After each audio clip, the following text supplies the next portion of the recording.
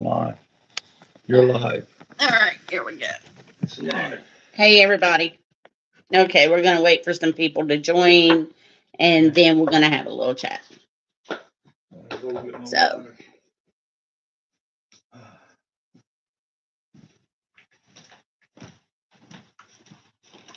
Hey, Connor? So we're live. Hey, everybody. Uh, we're going to give it just a few seconds and um, let some people join, and then uh, we're going to have a little bit of a chat. So, um,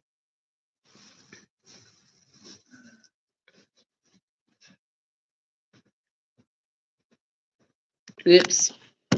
Here we go. Let's see here. Charlie holding me up here. Yeah. Yeah. And just so y'all know, I've got the Raccoon Whisperer in here with me. Yeah, I'm here. He's here, and um, we're gonna have a little bit of a chat with everybody. So, um, so I think we got everybody on that needs to be on. And so uh, we're gonna go ahead and get started. So, um, first of all, uh, there's been a lot of uh, network chatter today um, on the YouTube comments and um, also on the Facebook page. And um, a lot of questions uh, and a lot of false statements. Um, and also on other social media. So um, there was some comments last night. I was catching them as soon as they were being written. Um, luckily, I was uh, up and down a lot last night, so I was watching the comments. And then this morning, when I got up and started working, um, I was catching some also. So, um?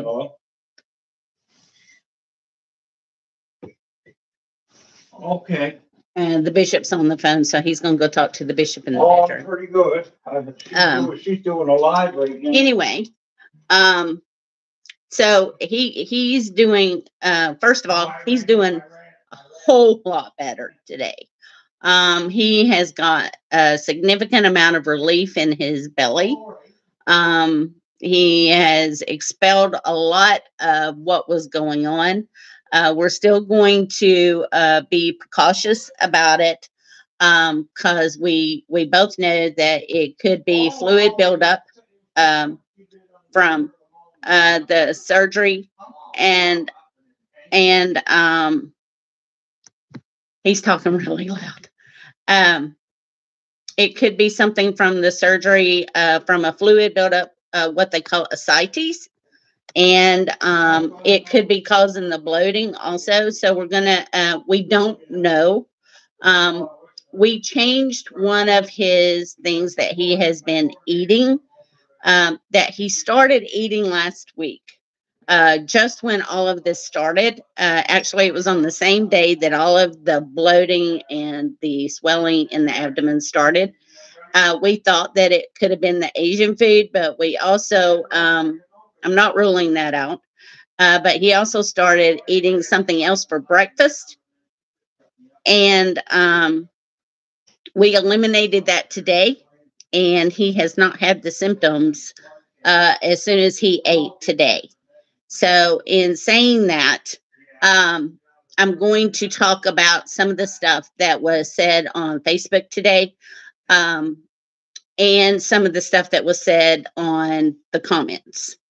Okay, first of all, um, he has told everyone right when the surgery happened um, what kind of surgery it was. Uh, he had a surgery in the abdomen. Um, it was a tail gut cyst that was removed uh, from his abdomen. It was in what they called the pelvic bowl, um, is where it was. Uh, he had a drain in his side. Um, the drain was removed over a month ago by his surgeon because it was attaching itself Uh, and the surgeon, who is one of the best within Nova Scotia, said it had to come out. In saying that, uh, that part over there on the side has closed up. It is not leaking. He did not have any surgery on his hip. He did not have a tumor on his hip. So anyone that thinks that is completely incorrect. So he does not have leukemia. He does not have a neurological disorder. He does not have thyroid cancer. Um, a lot of rumors are going around. Um, Facebook comments within the YouTube channel, other social medias of what other people's YouTube channels are rumoring every all these different things that he has. Um, in saying that, uh, he does have specialists and physicians and nurse practitioners and surgeons that are watching over him. Yes, we are in Canadian healthcare. It is not like US healthcare, but he does have people that are watching over him. He's being overwhelmed by all of the recommendations of diet, nutrition, natural remedies, um, vitamins, um, different things that we should be looking out for. Someone has stated that he was hemorrhaging internally. Um, he does have, I think he's already shared this with people, he does have internal hemorrhoids that when he has flatulence uh, and, or when he has bowel movements, sometimes, not all the time, they do bleed. Uh, but he is not bleeding internally. We know this because he has had additional CAT scans uh, within the last two to three weeks. He did get biopsies done uh, the Monday after he had his surgery. And those were for the nodules that were found within his axillary lymph node. We did get those results back. We saw a hematologic oncologist two weeks ago. His lymph nodes biopsy uh, came back as marginal non Hodgkin's lymphoma. When we saw the oncologist two weeks ago, he stated that it is inconclusive and he cannot stage it at the moment.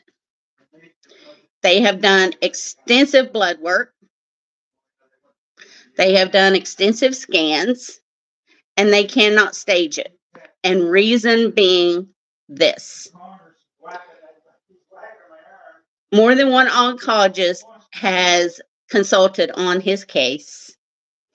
And because he just got out of a huge major surgery that was in his abdomen, and because the tumor was so large that it has pushed his organs, his rectum, and his anus.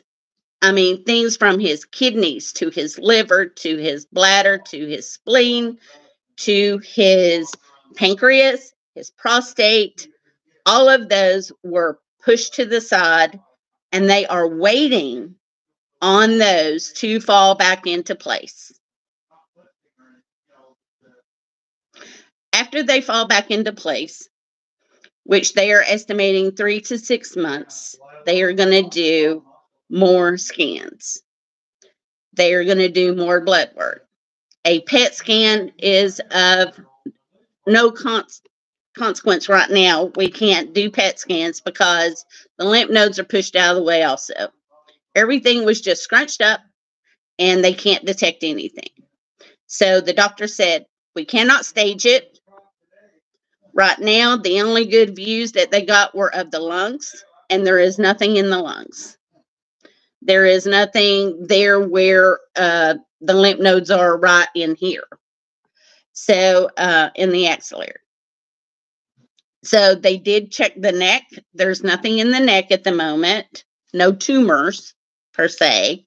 They are not even going to do bone marrow biopsies right now. So there is no treatments right now. And they are going to recheck him in three months. We're going back in December. So to alleviate the rumors, we are not going to the US for treatments. Jim wants to be treated here, and that's that. He does not want to go anywhere else. He trusts his physicians. He trusts his specialist, his oncologist, his nurse practitioner. He trusts our family that is in healthcare. We have physicians and nurse practitioners and nurses. We have a whole slew of healthcare providers within the family that are guiding him. Yeah. So we just want everyone to know the facts. And please, please stop the rumors. We really would appreciate it. And please do not overwhelm him with everything that he needs to do. We know that you care for him. You have his best interest at heart. But you got to consider 616,000 people follow him. And can you imagine getting advice from 616,000 people by all means of email, Facebook, and the YouTube channel?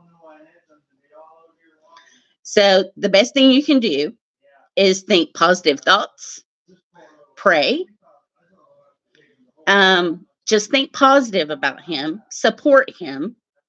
He will get back out on the porch when he feels like getting back out there. He will talk about his health when he wants to. And if he wants to lay on the couch and talk about how, how bad that he feels, it's his channel. He can do that. We had people last night saying they didn't think that they could watch his channel anymore because of his health. And he told me to tell them unsubscribe. It's not that important. We don't need those type of comments.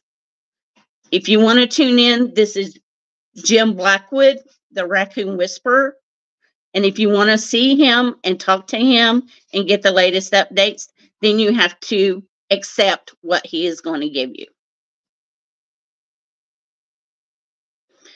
So that's about it. And um, I think that's it. So, honey, you want to come in here and say anything? Yeah, I was just uh, hung up from the bishop. Yeah, Bishop Coolidge just called and there's no way I'm gonna hang up on him. I know. Uh, so I've told him everything you told me to tell him. Yeah. So Okay, but uh, you know, we, uh, we're not, I'm not going to see the specialist until, uh, he said December. yes, And, uh, he's gonna do a CAT scan before and, uh, blood work. Yeah. But anyway, uh, we didn't wanna let anybody know that and, uh, we thought, well, the good news from the big tumor was so much good and, right. you know, that's the one I was most worried about. Yep. We didn't even know this thing was going on until, uh, we had the upper CAT scan and they caught it, but. Yeah. When I went for my biopsy, they, uh, he had a hard time finding it. Yeah.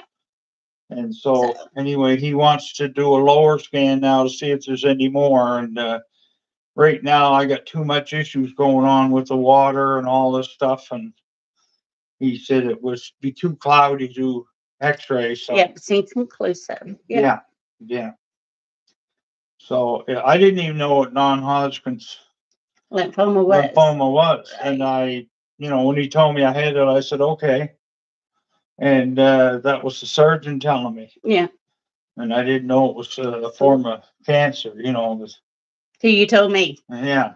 Yeah. Yeah, well, I didn't So- know, So uh I just thought, take a pill and be gone the next day, you know, yeah. But, You're gonna be all right then. oh yeah, I'm gonna be fine. Uh, uh, it's so slow and, It is a slow growing. yeah, The marginal is, it is very slow growing. yeah. So, uh, you know, it, it. people live with it a long time. Yes, uh, the, the specialist did tell us that people do live with it. They live with it and don't know they have it. That's right, yeah. Uh, didn't know it it's, it's it. cases like this, like he, they found it because they did a lung CT scan for his surgery and Yeah. they saw it. Yeah, And that's how most people find it. yeah, it was just a fluke that we even found it. Other than that, we were just gonna operate on the large tumor and then Yeah. be done with it. And, uh, my uh, incision in my, in my rectum area is, uh, the nurse said today that it's really coming Mm-hmm. and she figures won't be too long and they won't have to come here anymore. Yeah.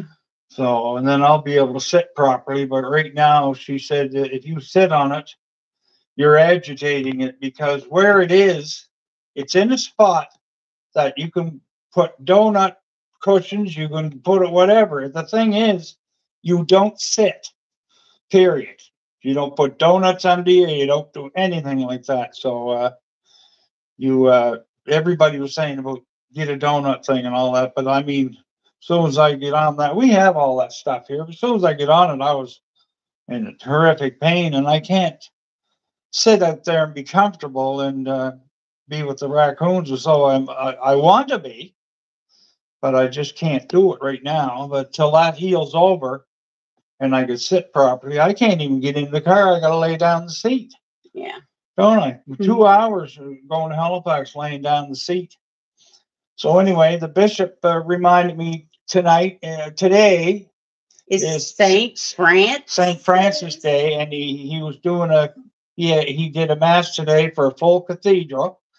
And, uh, the, uh, he, first thing he was thinking of while he was doing the mass was me. No. And he said, I said a prayer for you. He said, and, uh, and he said, I'm sorry I interrupted your show. I said, I said, no, no, it was just something that Angie, we did on the spur of the moment. We didn't know you were gonna call, but, but, uh, I mean, I will, anytime he calls, I drop whatever's going on and I want to talk to him. Because he's a number one friend of my book. And, uh, so I'm gonna dig out the St. Francis statue and I'll put it out. It's in the barn. Yeah, I know, I'll get it and I'll put it out. And, uh, and I don't know how long it'll stay up because, uh, We got some rowdy. I, well, I was telling uh, the bishop that, uh, these fellas here won't leave anything alone. No. And they wrecked my camera, but we fixed it. And, uh, I think I'm gonna, I think I'll order another one anyway, and I wanna order the same one because I want to buy batteries for it. Yeah. Cause we have the spare batteries in that, that particular model, so, Okay, then. Well, I guess we're done. yeah, Yeah. Okay. so I can't see what you're writing. I, these things are not readers. I know.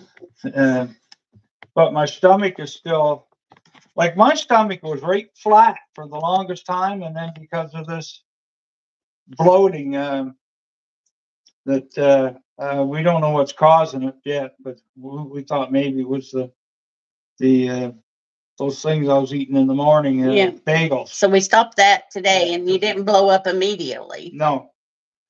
But, uh, but I had a couple of accidents today. And like I said, I have no feeling down there to know what's coming. So my poor neighbor, he was, he came in the house and that's when I had to run. and I didn't make it. So, Yeah, but he got the hole made for the wasp to go out of the wall. yeah, yeah. So, if there's any left alive. yeah, we've had none in the house today. No. Knock on wood. Oh, yeah. Yeah. So, no wasp in the house. We've been wasp free today. Well, I I lost a lot of weight off my neck and, and my arms. I had big, thick arms and it's, you know, it's just, uh, it's just gone to this now, so. But I, uh, I look more like my father was. That's what everybody's saying. You look so much like your dad. Yeah. Uh, anyway, I'll, I'll get out of the road here. You gonna tell him bye? Cause I'm gonna tell him bye. Yeah, um, Mr. Connor there, uh, he Uh-huh. caused me to break the plastic knife. Uh-oh. for, uh, he, he was shoving and pushing at me to get food. We've got some extra ones around, so I'll find them. Well, he the gets drawer. so, he gets so agitated that you don't give it to him right away. And he was pushing and of course the, the thing fell out of my hand and broke, So Well, you made him that way. huh? You made him that way. Yeah, I know, and then as soon as you open something, like open any kind of a container, he's right there. It's just a baby. So I got the, we get on today, Boston playoffs. Yeah, I pulled Oh, the, that out of the drawer for you. And they didn't make it last year. Yeah. No, they went up four straight. Yeah. But the Blue Jays are on tonight for their last game. If they don't win, they're gone. They may win, you never know. Now, my favorite player is number eleven, uh, Bo uh, Bichette. Bichette. And uh, he, he gets a hit in almost every time he gets up. And he steals bases. He's a real good player. I, I, I like him. So I ordered his shirt Mhm. on Amazon. So I got that. That coming. And my cups all arrived from my nurses. I got uh, Raccoon Whisper coffee mugs. So they're all gonna, uh, I gave one out today to, uh, to Crystal. She's gonna take it to the secretary. Okay. She's a big, big fan of mine. So anyway, You're so Crystal won't be here tomorrow. She's off for a few days. She's back Saturday. Oh, So, well, tell everybody bye. yeah, see you later. See you later, everybody, and thank you. We appreciate all of your support. Y'all take care, okay? Bye-bye. All Charlotte.